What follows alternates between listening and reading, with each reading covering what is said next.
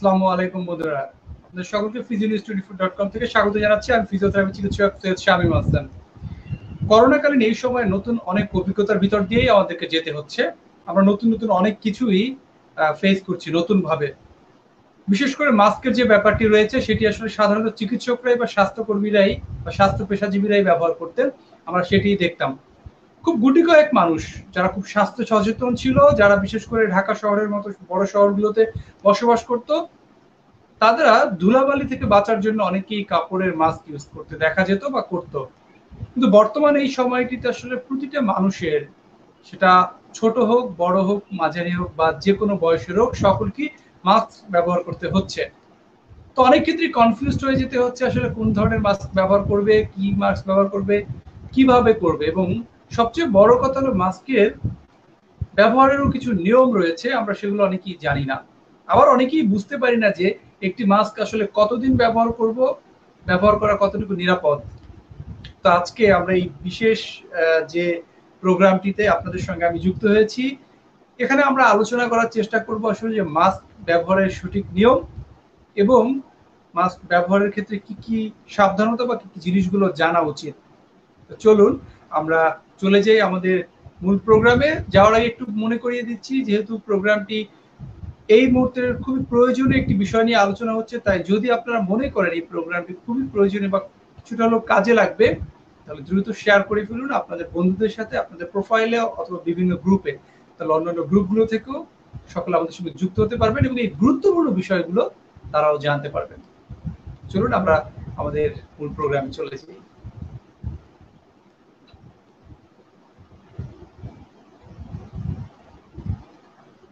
বন্ধুরা, যেমনটি বলছিলাম যে আমরা আলোচনা করব মাস্ক ব্যবহারের প্রয়োজনীয়তা ও নিয়মাবলী।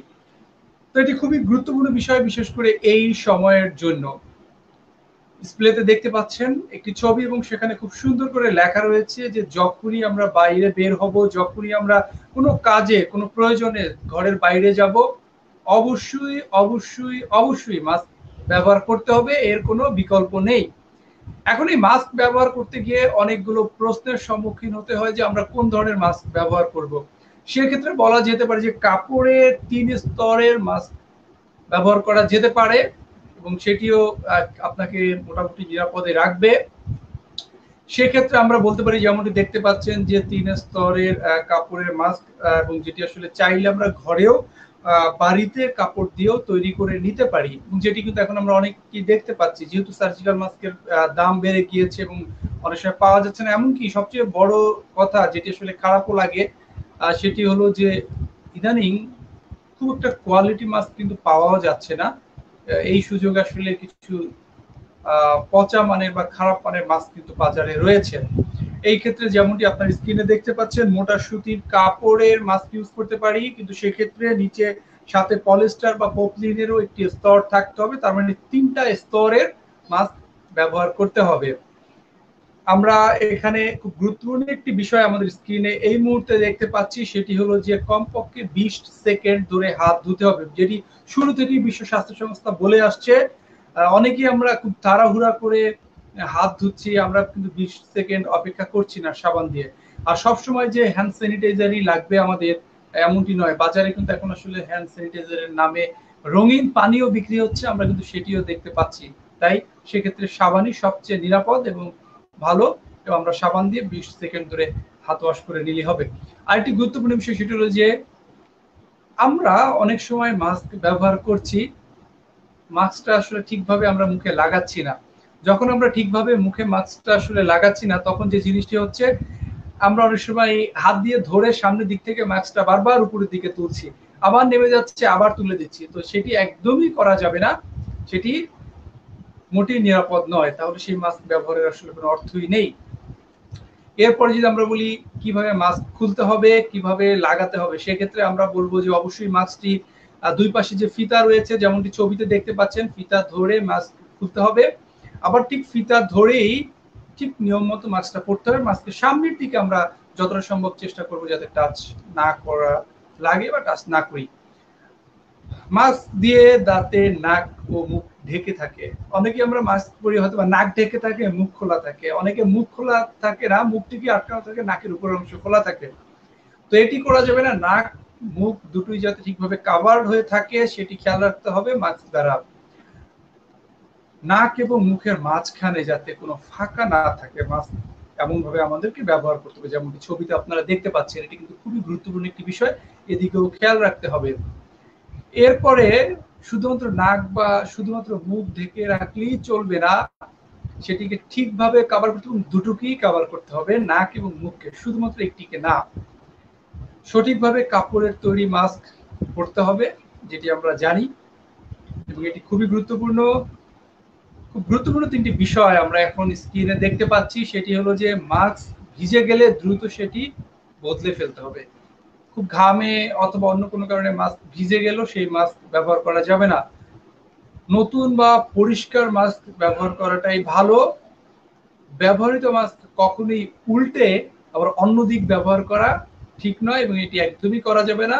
সেক্ষেত্রে একটি মাস্ক চেষ্টা করতে যদি সার্জিক্যাল মাস্ক হয়, একবারই ব্যবহার করুন। আর বারবার না ব্যবহার করাই ভালো। সবসময় কাপড়ের তৈরি মাস্ক ব্যবহার করলে দুটো মাস্ক রাখতে হবে যাতে একটি কোনো কারণে যদি ভিজে যায় বা কোনো সমস্যা হয়, অন্য আরেকটি মাস্ক যাতে আপনারা ব্যবহার করতে পারেন। এটি কিন্তু খুব গুরুত্বপূর্ণ একটি বিষয়, এটি আমাদেরকে জানতে হবে।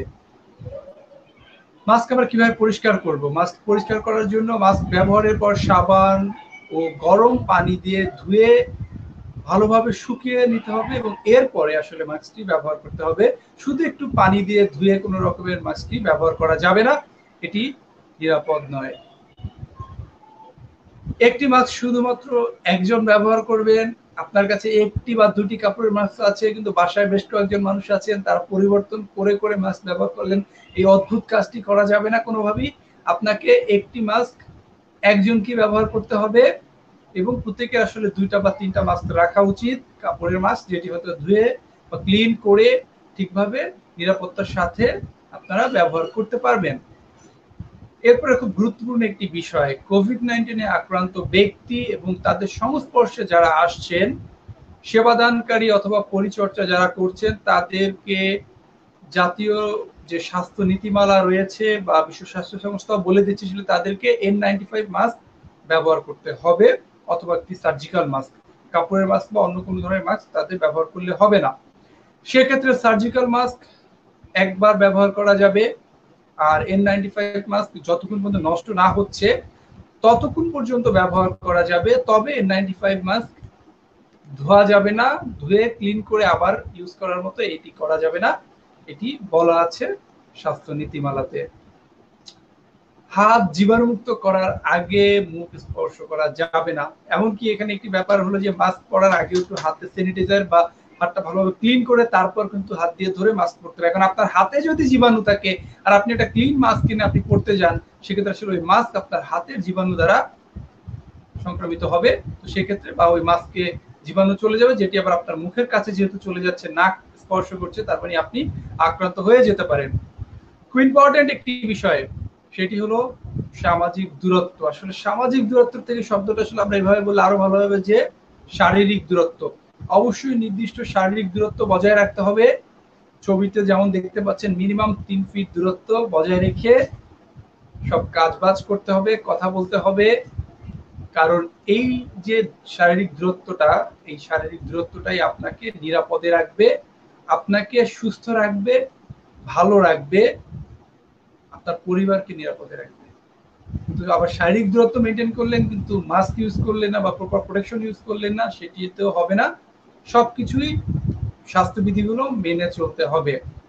আর আবারও শেষ, একদম শেষ অংশে আবারও বলতে চাই, সেটি হলো খুবই গুরুত্বপূর্ণ বিষয়। সেটি হলো যে কমপক্ষে বিশ সেকেন্ড ধরে সাবান ও পানি দিয়ে ভালোভাবে হাত ধুতে হবে। কারণ এই যে স্বাস্থ্য বিধিগুলো রয়েছে এই স্বাস্থ্য আজকে যেমন এই প্রোগ্রামটি কিন্তু আমার কাছে হঠাৎ করে মনে হলো যে আমরা প্রতিদিন অনেক লাইভ প্রোগ্রাম করছি, অনেক কিছু নিয়ে আলোচনা করছি, অনেক গুরুত্বপূর্ণ বিষয় নিয়ে আলোচনা করছি।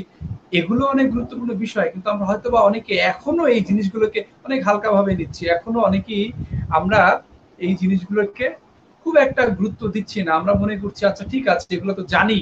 এগুলোর কোনো